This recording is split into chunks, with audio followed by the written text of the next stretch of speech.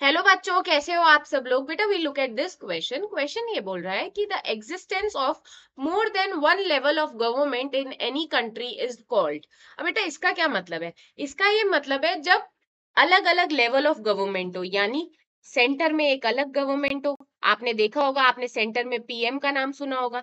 फिर स्टेट में आपने अलग सरकार देखी होगी, क्योंकि आपके स्टेट में चीफ मिनिस्टर होता है।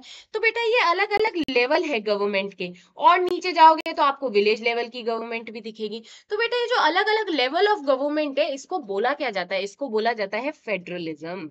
ठीक है? जब अलग अलग लेवल ऑफ़ गवर्नमेंट हो, उसको क्या बोला जाता है? उसको बोला जाता है फेडरलिज्म सो करेक्ट आंसर क्या हो जाएगा आपका? Option number B